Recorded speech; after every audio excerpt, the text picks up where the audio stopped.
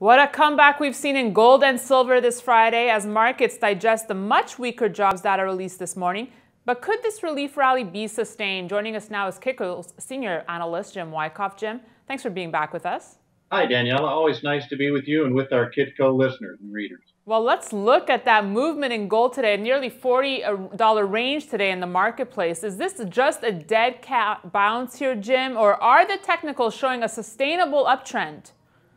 Daniela, on Friday in both gold and silver markets, we scored bullish outside days up on the daily bar charts. That means the daily trading ranges for both gold and silver were higher for highs and lower for lows in the previous day's trading ranges. That's a bullish technical clue.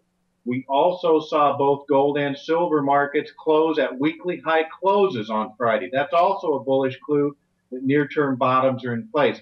However, uh, as I've said many times in my Kitco AM and PM reports, we need to see follow through buying strength early right. next week to better confirm that uh, market bottoms are in place in both those markets. But indeed, uh, the near term technical posture could be changing uh, from some from significantly bearish to at least less bearish and, and maybe even a little bit friendly for the for those metals.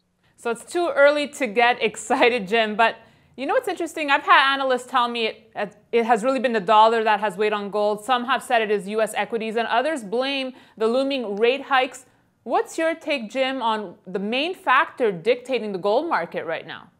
It's frustrating, Daniela, and I'm sure it's frustrating for our uh, readers and listeners, especially the long-term uh, buy and hold type investors in gold. The one thing I will say is if, if you look at the longer term charts, uh, commodities are highly cyclical, especially gold.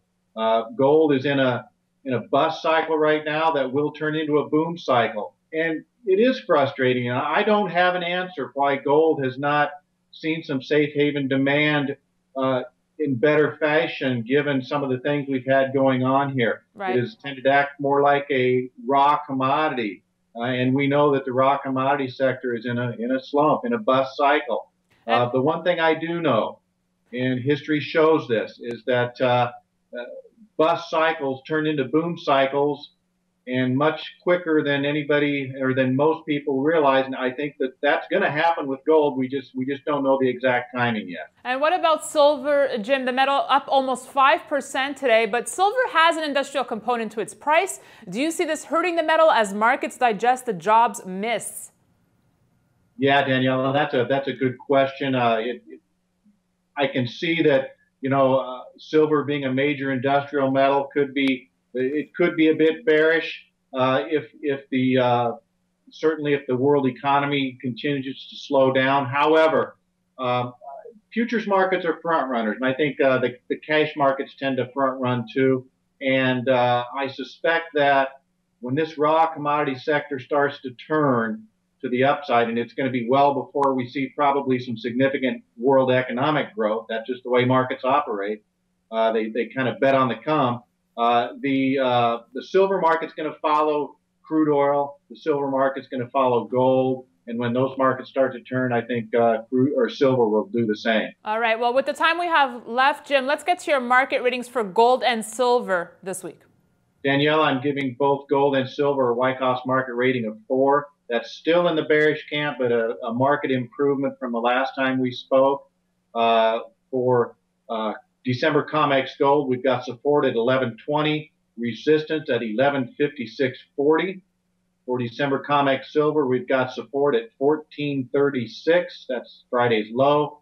Overhead resistance at 1543.5. Good thoughts, Jim. Thanks so much for joining us and happy weekend. Thank you, Danielle. I can't wait till next time. Bye bye. And thanks for watching this edition of Kitco's Gold Report. We'll see you next week.